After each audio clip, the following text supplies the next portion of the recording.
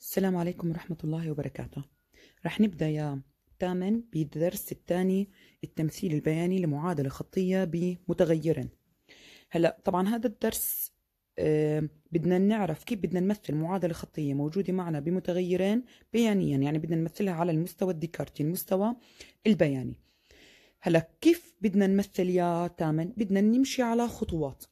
أول خطوة أول شيء خلينا نكتب معادلة حتى نعرف كيف بدنا نعمل الخطوات.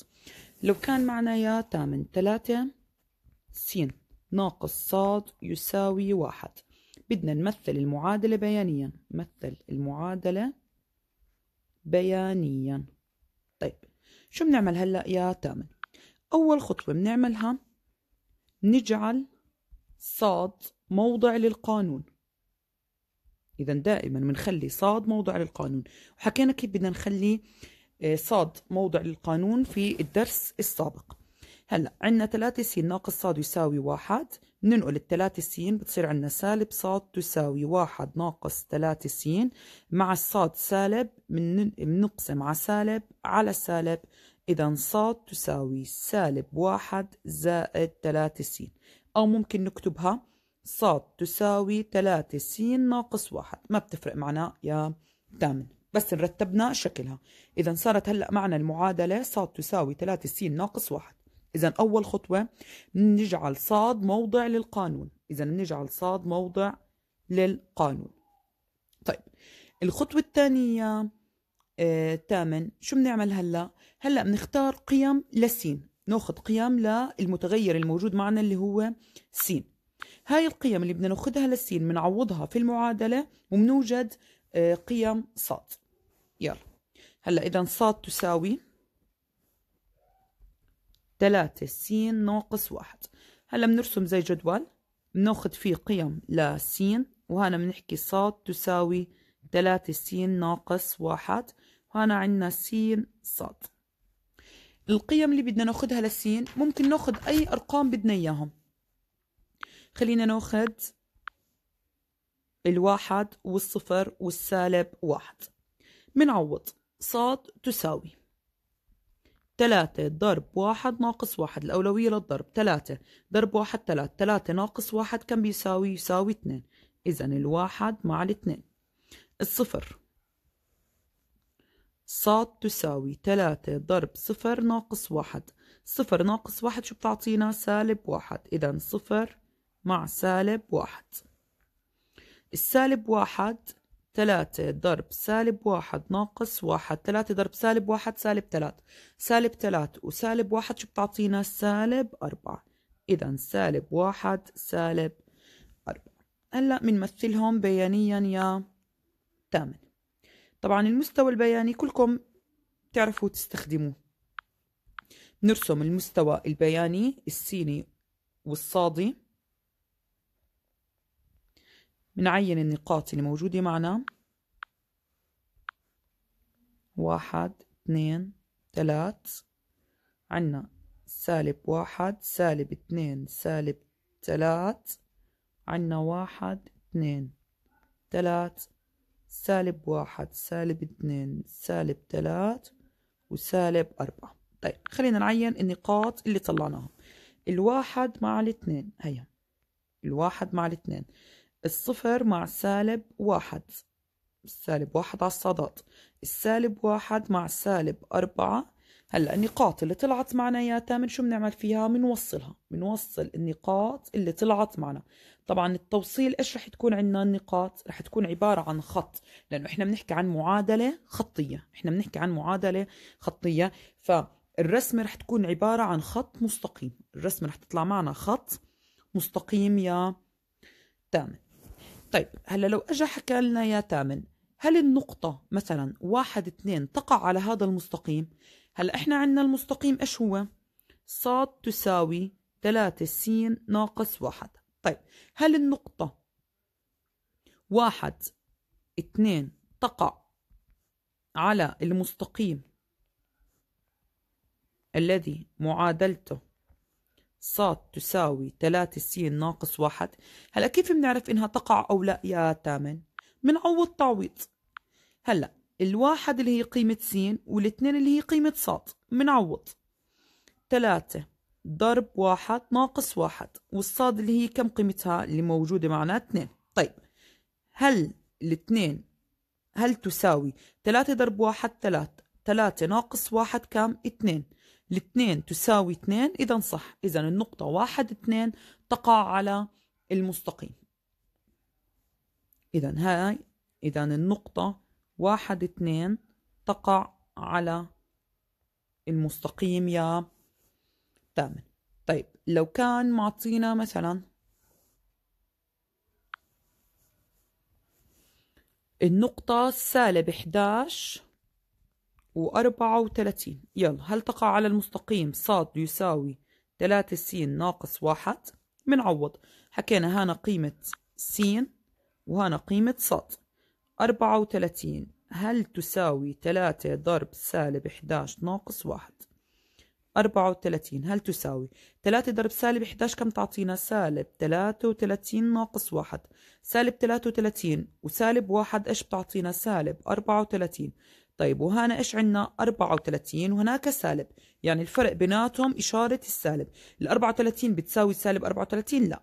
بما إنهم غير متساويات إذا النقطة سالب 11 34 إيش مالها؟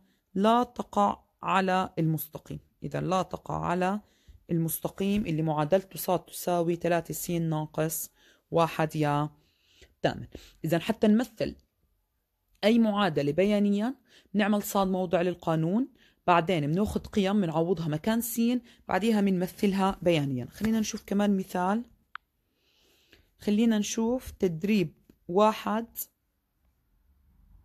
صفحة 17 مثل مجموعة حل المعادلة. 3 زائد 6 س زائد 3 صاد يساوي صفر بيانيا. طيب. عندنا إذا المعادلة 3 زائد 6 س زائد 3 صاد يساوي صفر. مثلها بيانيا. هلا حكينا أول خطوة بنخلي صاد موضع للقانون.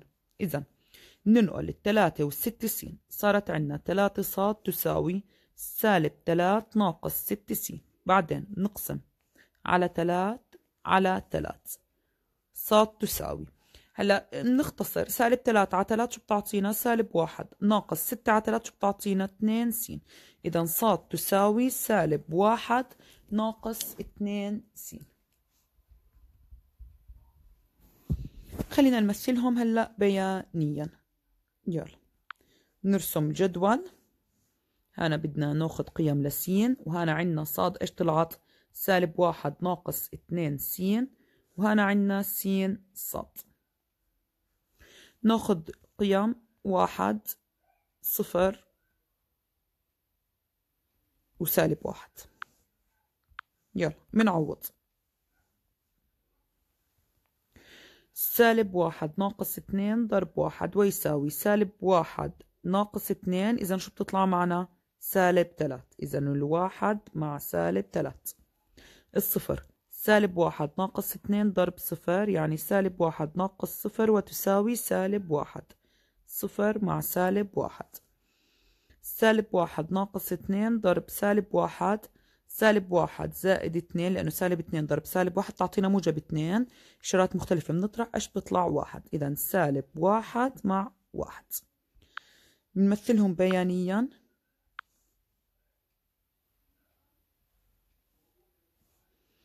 عندنا واحد اثنين تلات واحد اثنين تلات سالب واحد سالب اثنين سالب واحد سالب اثنين سالب تلات عندنا الواحد مع سالب تلات واحد مع سالب تلات الصفر مع السالب واحد والسالب واحد مع واحد. ومنوصلهم مع بعض. يا تامن طبعا حكينا بما إنها معادلة خطية لازم يطلع معنا خط مستقيم. طيب بيحكي لنا بالسؤال هل الصفر صفر نعتبرها آه، بتقع على هذا المستقيم؟ آه أو لا؟ هلا لما بدنا صفر صفر نرجع نكتب الصاد تساوي سالب واحد ناقص اثنين س. طيب صفر صفر بنعوض. صفر تساوي سالب واحد ناقص اثنين ضرب صفر. صفر تساوي سالب اثنين ضرب صفر صفر سالب واحد. الصفر تساوي سالب واحد. لا. إذا إيش؟ لا تقع. الصفر صفر لا تقع. طيب. عنا سالب نص مع واحد. يلا هاي قيمة س وهاي صاد.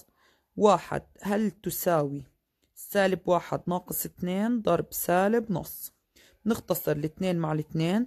هل الواحد تساوي هلا سالب واحد. سالب واحد. ضرب سالب واحد شو بتعطينا؟ موجب واحد.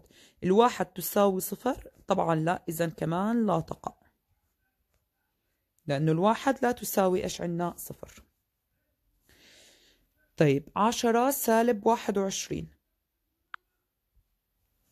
عشرة وسالب واحد وعشرين. هاي سين وهاي صاد.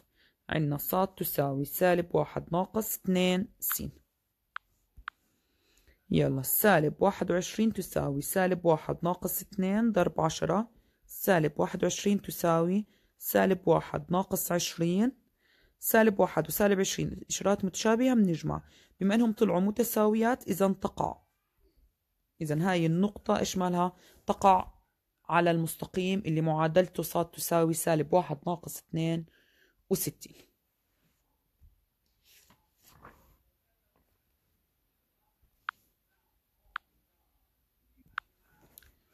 طيب. خلينا نحل من سؤال أربعة صفحة 18 فرع جيم. بحكي لنا محيط مثلث متطابق الضلعين يساوي عشرين. محيط مثلث متطابق الضلعين يساوي عشرين. طيب هل إحنا لما نحكي عن مثلث متطابق الضلعين يعني هذا الضلع وهذا الضلع متساويات نفرض. لو فرضنا هذا س هذا إيش كمان بده يكون؟ س القاعدة إيش بدنا نعتبرها؟ مثلا صاد طيب محيط أي شكل أو محيط المثلث إيش بيساوي محيط المثلث؟ مجموع أطوال أضلاعه.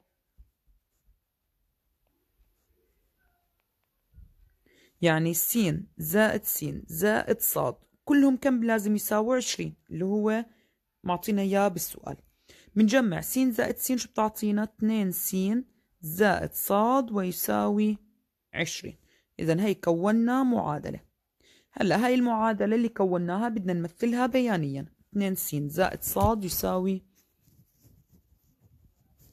20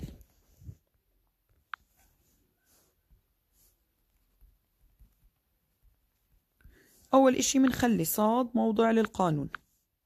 إذا بننقل 2 س صاد تساوي 20 ناقص 2 س يلا نمثل ناخد قيم. هنا س وهنا عنا صاد تساوي 20 ناقص 2 س هلا ناخد الواحد والاثنين والثلاث. عشرين ناقص اثنين ضرب واحد بتصير عشرين ناقص اثنين يعني كم؟ تمنتاش. عشرين ناقص اثنين ضرب اثنين اثنين ضرب اثنين أربعة. عشرين ناقص أربعة كم؟ ستاش عشرين ناقص اثنين ضرب تلات اثنين ضرب تلات ستة عشرين ناقص ستة اللي هو كم؟ أربعتاش إذا طلعت معنا واحد مع تمنتاش الاثنين مع ستاش والتلاتة مع إيش؟ مع أربعتاش خلينا نرسم هلا عنا واحد بما أنه ما عنا أعداد سالبة. خلينا نكبر الجهة الموجب.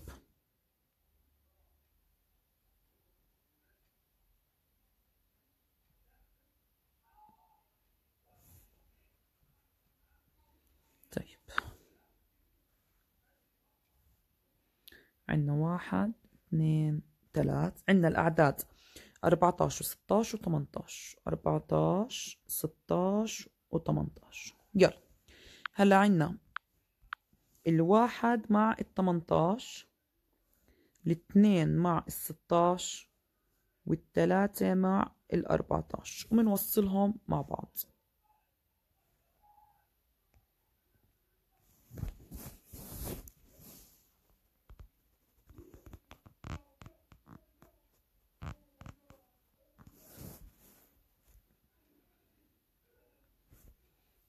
طبعا إحنا لما نستخدم المسطرة بيكون الرسم عندنا أدق يا تامن إذا بنهاية الحصة لحتى نرسم أي معادلة خطية بمتغيرين نعمل صاد موضع للقانون أول خطوة ثاني خطوة بنرسم جدول بناخد فيه قيم لسين بنعوض القيم الموجودة عندنا في سين آه، ومنوجد قيمة صاد بعدين بنرسم المستوى البياني اللي موجود معنا ومنعين النقاط ومنوصلهم يا تامن السلام عليكم ورحمة الله وبركاته.